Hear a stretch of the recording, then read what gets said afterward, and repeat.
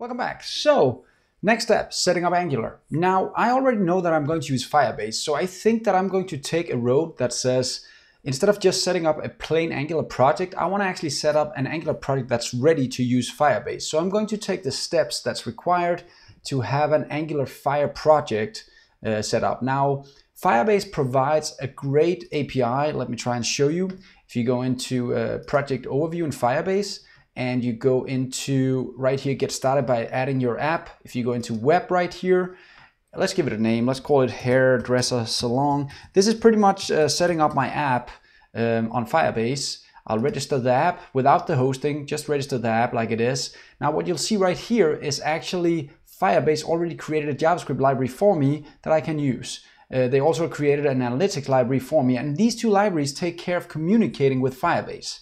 But we're going to use Angular and Angular uses TypeScript. So we need some kind of wrapper library that, that kind of uses TypeScript to read the JavaScript and do the same things we can do in JavaScript, right?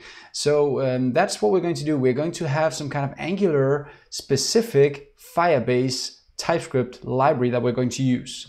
And it needs a configuration set right here to get started. So that's what we're going to do this lesson. We're going to set this up so we have connection between Firebase and Angular. That's the goal, okay? So let's get started. Well, first of all, let's actually uh, go in and find a good guide that can help you guys as well. So if you go into uh, GitHub and find Angular and Angular Fire, uh, I'll try and add a link in the description, but this is the link right here. If you go in there and you uh, scroll down, you'll see a getting started guide down here, quick start. I'll try and go into that guide, clickety and when I get in here, it says, well, first you need to install the Angular CLI.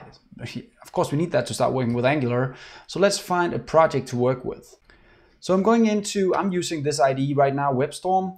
I'm opening a blank project and I'm opening the terminal. If you don't know where the terminal is, it should be down here somewhere, the terminal. You open that and now you have a console ready to use or terminal. Uh, depending on if you're a Mac or a Windows user. In the terminal, I'm going to go to a specific directory in my case, I'm in the Angular Fire directory. I can do an ls to list this, or on the Windows machine, do a dir to list this. And I can see I have two apps already here, one live and testing app and one Chatty Mac Chat. And I want to make a new app in here, so it's pretty much just going to be a new Angular right here. Now I know that to create a new Angular app, I first need to kind of install the Angular CLI to start using these different Angular commands that I need in the Angular CLI. So CLI is command line interface. Um, and if you don't have this installed already, you have to do it now. So you have to run this command right here. And now I have Angular installed. So now I can start doing commands starting with ng, uh, which is for, for Angular. Now I know one command that's very useful and that's the new command, which means, which means I want to create a new project right here. So I'll use the new command and then I'll write uh, the name of my new project. Now let's just call it hairdresser salon.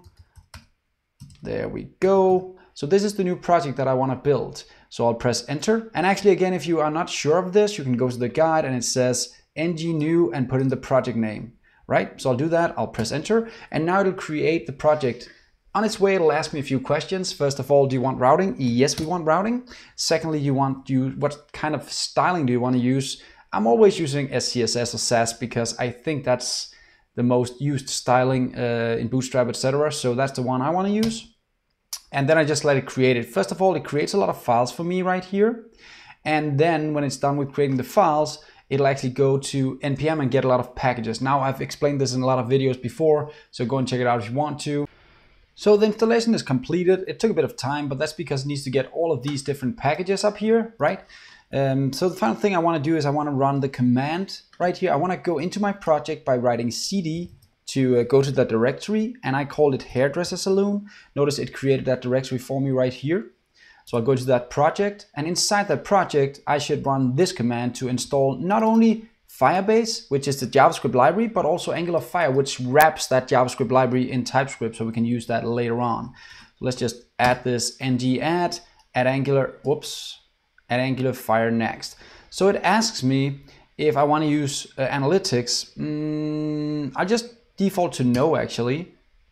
Because if you do yes, you'll have to add some extra information. So just take no right now and we can always add analytics later if we want to. Let's just skip that for now.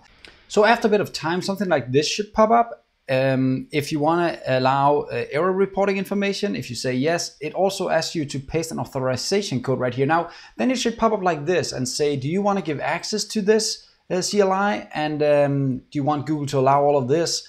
And yes, I trust Google, so I'll say allow. Now, when I've allowed that, you'll get some kind of link like this, uh, code. I'll copy this code and I'll paste it in right here as an authorization code.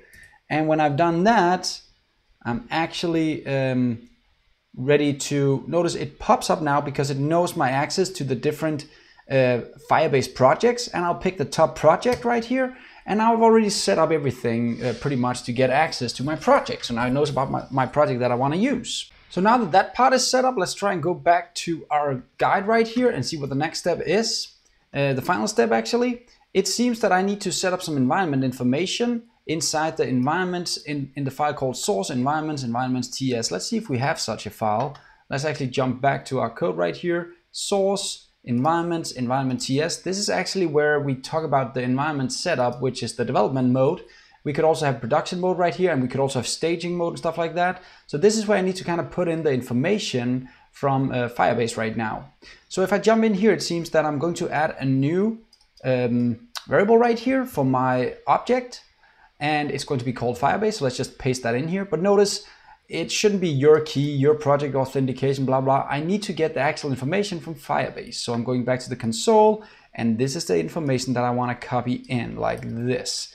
There we go. Let's just paste that in there instead. Notice it's the same names. I'm actually adding one thing and that is the app ID. You need that uh, now with the new Firebase setup, so you should add that as well in here. So the final thing I want to do is I just want to refactor this because it's just annoying that notice lint is telling me that you shouldn't use double quotation, you should just use single quotation.